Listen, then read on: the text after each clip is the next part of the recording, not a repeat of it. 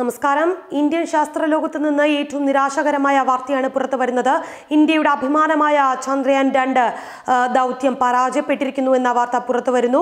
I S R chairman K Sivan അറിയിച്ചിരുന്നത് പോലെ ആ പതിനഞ്ച് മിനിറ്റുകൾ ഏറെ നിർണായകം തന്നെയായിരുന്നു. ചന്ദ്രയാൻ രണ്ട് ചാന്ദ്ര ദൗത്യത്തിന്റെ ഭാഗമായുള്ള വിക്രം ലാൻഡറിന്റെ ലാൻഡിംഗ് വിജയകരമായില്ല. അങ്ങനെ ആ ദൗത്യം പരാജയപ്പെട്ടിരിക്കുന്നു. ലാൻഡറുമായുള്ള ആശയവിനിമയം നഷ്ടമായി എന്ന് I S R chairman K Sivan സ്ഥിരീകരിച്ചിരിക്കുന്നു. Rough ബ്രേക്കിംഗിന് ശേഷം ഫൈൻ ലാൻഡിംഗിനിടെയാണ് സാങ്കേതിക പ്രശ്നങ്ങൾ അഭിമുഖീകരിച്ചതോടെയാണ് ലാൻഡിംഗ് പ്രക്രിയ തടസ്സപ്പെട്ടിരിക്കുന്നത്. വിവരങ്ങൾ പരിശോധിച്ച് വരുന്നുണ്ട് എന്നും ഐ എസ് ആറിൽ നിന്ന് ഔദ്യോഗിക സ്ഥിരീകരണം വന്നിട്ടുണ്ട്. ലാൻഡറുമായുള്ള ആശയവിനിമയം നഷ്ടമായി എന്ന് I S chairman K Sivan അറിയിച്ചിരുന്നു.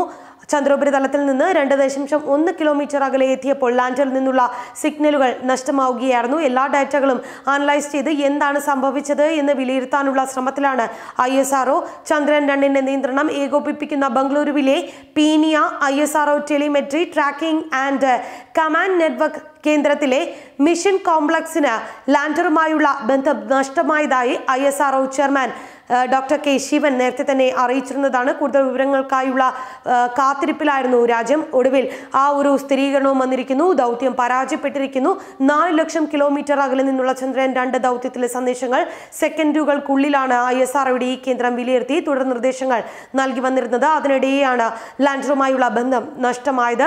പല ഷിഫ്റ്റുകളിലായി ഇസ്ട്രാക്കിൽ രാപ്പകൽ ഇമച്ചിമാതെ പ്രവർത്തിക്കുന്ന ഇരുന്നൂറോളം ശാസ്ത്രജ്ഞരുടെയും സാങ്കേതിക വിദഗ്ധർക്കുമൊപ്പം പ്രധാനമന്ത്രി നരേന്ദ്രമോദിയും ഐ എസ് ആർഒയിൽ ഉണ്ടായിരുന്നു. രാജ്യത്തെ വിവിധ ഭാഗങ്ങളിൽ നിന്ന് ഓൺലൈൻ പ്രശ്നോത്തരയിലൂടെ തെരഞ്ഞെടുത്ത എഴുപത് വിദ്യാർത്ഥികളും ദൗത്യത്തിന് സാക്ഷ്യം വഹിക്കാൻ എത്തിയിരുന്നു. ലാൻഡറിൽ നിന്ന് വിവരങ്ങൾ ലഭ്യമാകാതായതോടെ ആശങ്കയിലായ ശാസ്ത്രജ്ഞരെ പ്രധാനമന്ത്രി നരേന്ദ്രമോദി നേരിട്ടെത്തി ആശ്വസിപ്പിച്ചിരുന്നു. ഏത് ദൗത്യത്തിലും വിജയപരാജയങ്ങൾ ഉണ്ടാകും. രാജ്യം ശാസ്ത്രജ്ഞരിൽ വിശ്വാസം പുലർത്തുന്നുണ്ട്.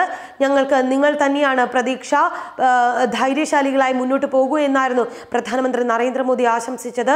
അദ്ദേഹം ഐ എസ് ആറിൽ നിന്ന് മടങ്ങുകയും ചെയ്തിരുന്നു. ചന്ദ്രയാൻ രണ്ടിന് എന്ത് സംഭവിച്ചു എന്നറിയാൻ ഏറെ കാത്തിരിപ്പിലായിരുന്നു ഇന്ത്യയും. ഇതുവരെ നേടിയത് തന്നെ ഏറ്റവും വലിയ നേട്ടമായിട്ടാണ് നാം മനസ്സിലാക്കേണ്ടത്. ലാൻഡിങ്ങിന് തൊട്ടു മുന്നേയുള്ള നിമിഷങ്ങൾ വരെ ചന്ദ്രൻ രണ്ട് വിജയകരമായി തന്നെയാണ് മുന്നോട്ട് പോയിരുന്നത്. യാതൊരു തരത്തിലുള്ള തെറ്റുകളും സംഭവിച്ചിരുന്നില്ല. എന്തായാലും രണ്ടായിരത്തി പത്തൊൻപത് ജൂലൈ ഇരുപത്തിരണ്ടിനായിരുന്നു തീരുമാനിച്ചതിലും ഒരാഴ്ച വൈകി ചന്ദ്രന്റെ ദക്ഷിണ ധ്രുവം ലക്ഷ്യമാക്കി ചന്ദ്രൻ രണ്ട് വൈകിട്ട് രണ്ട് നാൽപ്പത്തി മൂന്നോട് കൂടി കുതിച്ചുയർന്നത് ശ്രീഹരിക്കോട്ടയിലെ സതീഷ് ധവാൻ ബഹിരാകാശ കേന്ദ്രത്തിലെ രണ്ടാം വിക്ഷേപണ തറയിൽ നിന്നായിരുന്നു.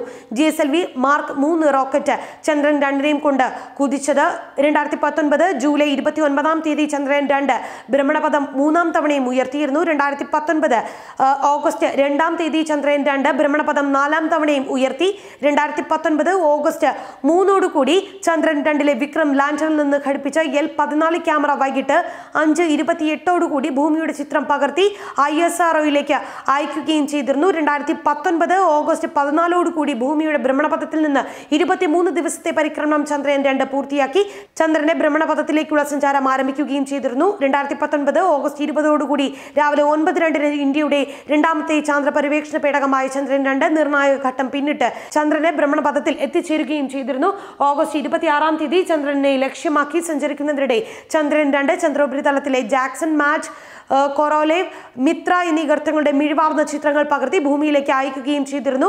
ഓഗസ്റ്റ് മുപ്പതിന് ചന്ദ്ര പര്യവേക്ഷണ ദൗത്യമായ ചന്ദ്രൻ രണ്ട് ചന്ദ്രന്റെ നൂറ്റി ഇരുപത്തിനാല് കിലോമീറ്റർ അകലെയുള്ള ഭ്രമണപഥത്തിലും എത്തിയിരുന്നു. സെപ്റ്റംബർ രണ്ടിന് ചിറക് വിരിച്ച ലാൻഡർ ഓർബിറ്ററിൽ നിന്ന് വേർപെടുകയും ചെയ്തിരുന്നു. സെപ്റ്റംബർ ഏഴിന് അതായത് ഇന്ന് പുലർച്ചെ ഒന്ന് അൻപത്തിരണ്ടോടുകൂടി ആ ചരിത്ര നിമിഷം സംഭവിക്കും. ഈ ചന്ദ്രൻ രണ്ട് ചന്ദ്രനെ തൊടുമെന്നായിരുന്നു നമ്മൾ ഏവരും കരുതിരുന്നത് ആ ഒരു വാർത്തയാണ് പിന്നീട് മാറി മറിഞ്ഞത്. ചന്ദ്രൻ രണ്ട് പരാജയപ്പെട്ടു എന്ന് തന്നെയാണ് ഇപ്പോൾ ലഭ്യമാകുന്ന വിവരം.